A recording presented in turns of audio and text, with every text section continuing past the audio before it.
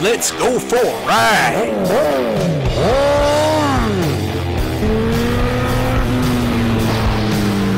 You are watching CycleCruza's all on one motorcycle channel. Subscribe today. CycleCruza videos brought to you at 6 a.m. every week. Hey guys, I'm on my bike of choice today, the WR250 fucking R.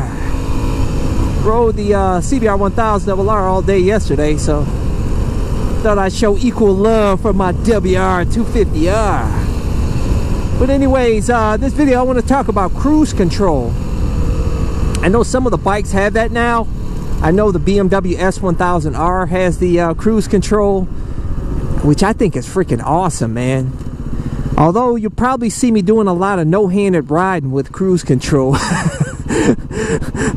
Fucking uh, put it on cruise control, eat a banana, eat some food, fuck around. uh, I think it's an awesome feature, man. And uh, that's kind of one of the uh, features on the S1000RR that has enticed me to get that bike. But the main reason I wanted to get the bike is, you know, the more upright seating position so you can take it on long cruises and have a nice comfortable ride because I've been very spoiled by this Yamaha WR250R's riding position guys. Seriously.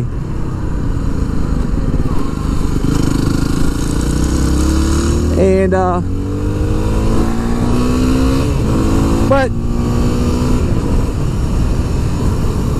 uh as far as really I to be honest with you I don't really know what the point of cruise control on the motorcycle is really for though it's I know maybe to to relieve your throttle hand on really long trips um, but is that really like the safest thing to do you know I ride one-handed all the fucking time so I'm not really uh, making an issue of it. It, it to me it's safe riding one-handed but it just for a motorcycle manufacturer to add it as stock on the bike it just really trips me out that uh, like what is the purpose like from their point of view? Is it to relieve the throttle hand? So you throw the cruise control on and you just take your hand off. So you ride one-handed or uh, or do you hold the throttle? You can just hold on to the throttle and not crank it. And uh, I guess just hold on to it. You don't have to crank it at all and the bike's just cruising along. I don't know. I've never ridden a bike with cruise control to know how it works but I see you motovloggers do test rides like on the BMW S1000R and other bikes that have it. And uh, and I but you guys do the nose you know take your hands off the bars and and uh, which I think is really cool. But uh, and I guess I don't know those probably well I know some of the cruise controls you can add to your bike that like goes on the bar end or something that like pins the throttle to whatever adjustment you want it at.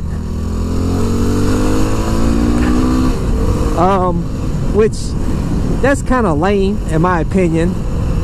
Uh, I'd rather have the one like on the S1000R you just flip the switch and that bitch just activates into uh, cruise control just cruises right on along without you having to uh, put any input in.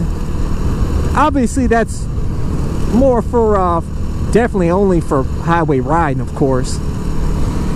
Uh, definitely don't want to be using that here out in the city which you know makes no sense but so I don't know. Tell me you guys I want to hear your feedback on cruise control for those of you that have it on your bike.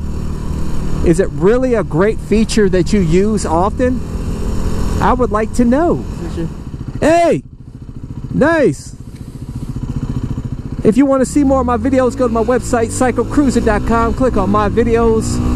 I have a bunch of uh, playlists there. Hopefully you can find something that will entertain you or inform you. Thanks for watching. Subscribe to my all-in-one motorcycle channel.